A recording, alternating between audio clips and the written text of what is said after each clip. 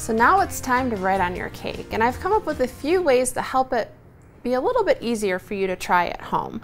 So what we have are our class materials here and we included a template of happy birthday in the standard font that I like to use. So what I did is I taped that down to my table and I have a piece of parchment paper or wax paper works just fine too. And what I'm gonna do is tape that on top of my template so that it doesn't move or slide around at all. And then I have my freshly filled bag of buttercream frosting that we made earlier with a number two tip on my bag. And you'll see I didn't fill my bag too full when I'm writing, I like to have a lot more control, so I'll put a little less frosting in my bag. So we're gonna go ahead and start, and we're gonna practice on our parchment until we feel comfortable. I can't stress enough how important it is to practice. I wouldn't be where I am today with my writing skills if I wouldn't have practiced for months and months and actually many years now. So I'm gonna go ahead and show you how I think is the easiest way to write on a cake. So what I'm gonna do is I'm gonna lean over, I'm gonna get in a comfortable position. I'm using my strong hand to hold the bag. Again, it's twisted, so we have a nice control. And my other hand is gonna be guiding my tip. This is gonna help me be less shaky when I'm piping. So what I'm gonna do is try to create my first straight line. I'm gonna start, I'm gonna attach my frosting lightly squeezing. I'm gonna lift up and when I'm almost to the end of my line, I'm gonna drop back down and stop squeezing. That's gonna help me create a very straight line. I'm gonna do that over, I'll show you again. So I'm gonna attach my frosting to my cake, squeezing in a solid motion, lifting up. When I'm almost to the end, I'm gonna drop back down, stop squeezing, and then pull my bag away. And I'm doing these in segments. So now I'm gonna do my middle line to my H, I'm going to attach to my first line, pick up, and drop back down. Now the reason why I do that, if I wasn't to lift up, it's gonna show every single little shake that your hand's gonna make. So lifting up on my frosting is gonna help drop that line perfectly straight. So let's do it again for our A. Attach, lift, drop, and stop squeezing.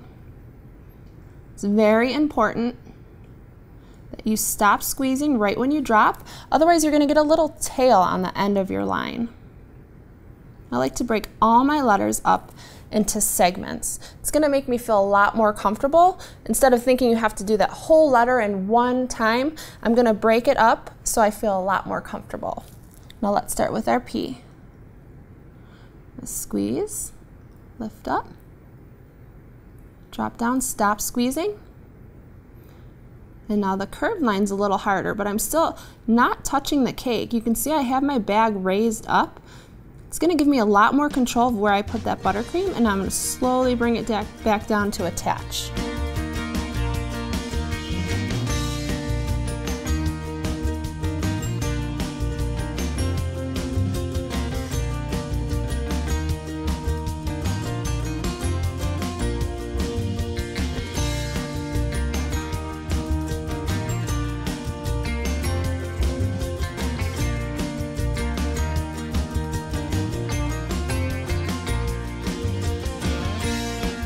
That completes my word happy.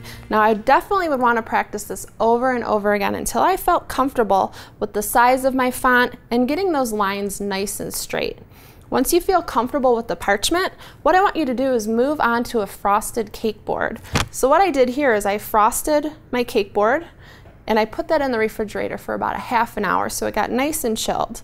The frosting is going to stick differently to the buttercream than it does to the parchment. So let's move this out of the way.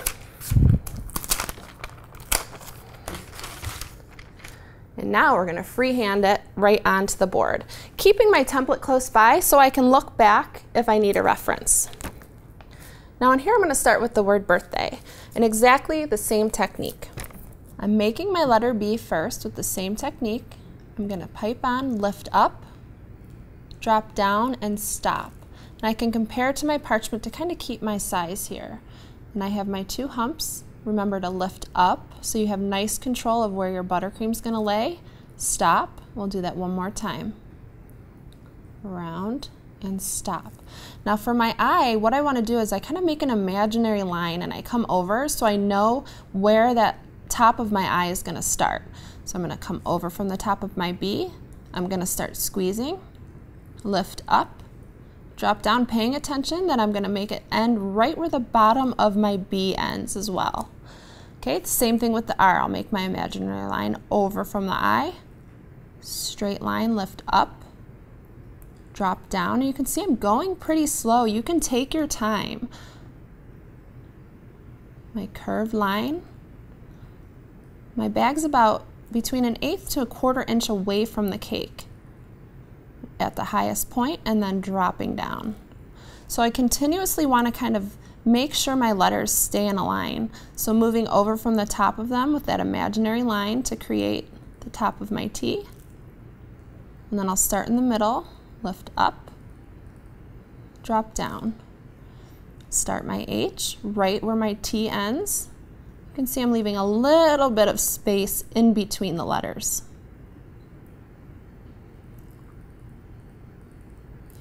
Always using my other hand to help guide my bag to keep it from shaking. You can just use one hand, but you'll notice you're gonna be a lot more shaky. So I'm finished with birth. I'm gonna move on to day in the exact same technique. And when I'm all through with this, I'm gonna get out the cake and show you how we do the same exact technique on the top of our cake.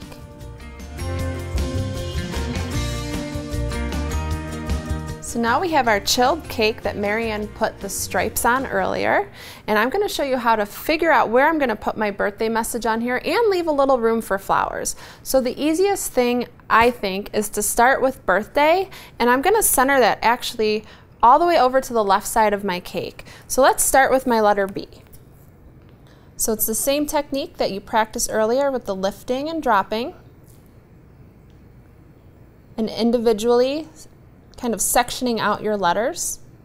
And what I'm going to do here, I'm going to show you if, say you make your letters too short, I'm going to show you how to make those fit. So you can see, if you were to look at this, it kind of looks like my word is going to be crooked because it's not lined up straight here at the bottom. So what I can do is actually take my frosting bag right where I left off and squeeze and pull out just a little bit more just to elongate those letters. So if you do mess up a little bit, you can see here what I'm going to do is just take my tip. I'm not squeezing, I'm lightly brushing it against it to blend that line together. So if you do make mistakes, there are ways to fix it. So we'll just keep going here. I'm going to write the whole word birthday, keeping that all lined up.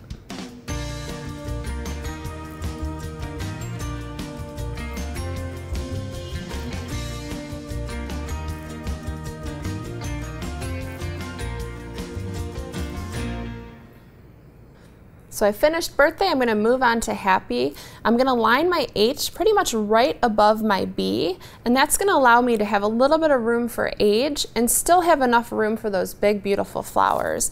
And the reason why I like writing in all capital letters, I feel like it's easy to line everything up. So I have my top of my letters lining up with the next top of the next letter, and the bottom of that letter lining up with the bottom of the letter before it. It's going to be a lot easier to keep your letters nice and straight if you're able to have something in front of it to follow.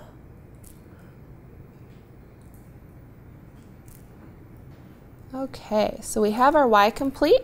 I'm going to do my age next, which my age I'm just going to do more of a regular style number here. I'm not going to get too fancy with it because I want to keep this nice and simple and something that I feel comfortable with doing. So let's just do a number four. Again, the same technique. I'm going to squeeze and pull down,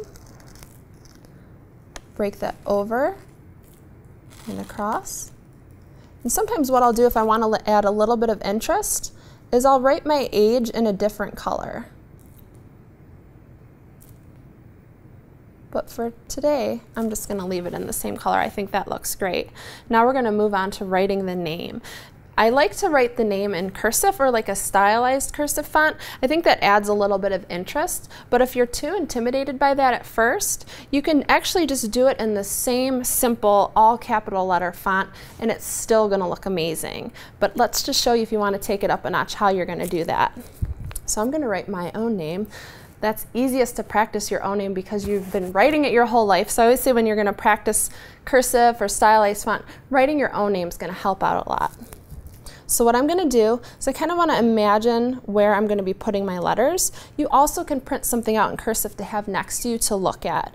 Now I also wanna think about flower placement. So I know we're gonna put some flowers up here on the top and also a couple down here in the corner. So I'm gonna move my name over just a little bit and start kind of right underneath that H. Now this is a little bit harder because we're gonna be doing more of like a fluid motion, but still we wanna lift our bag off the cake and let that line fall in that pattern of the letter there. And then we wanna stop when we know we're at the end of it. Now the first letter is always the hardest because we want that to be nice and fancy, but the rest after that are gonna be a little bit easier. So now I'm gonna do my A. I'm gonna come around, lifting up the whole time. Now I can stop here. So now I'm gonna do the U, but I'm gonna show you how I can connect it. So I'm gonna just do the U separate, come down, stop, and then what I can do is attach my A to the U the same way I fixed my I and my R. So I'm going to take my buttercream where that stopped. I'm going to start squeezing and pull it up and blend it right into that U. And you won't even see where that line starts and stops. Now here for the R, there's some cursive letters that are a little bit confusing. So I'm going to do the R just a normal lowercase r, and I'm not going to connect it. So here's where you can make that the decision if you want your letters to connect or not going to bring that curve over and I think that looks just fine without attaching my U to that R. Now we're going to go on to our E, which I'm going to start pretty much right underneath that curve of my R. going to lift up, bring it around. If you feel comfortable, you can continue right into that N.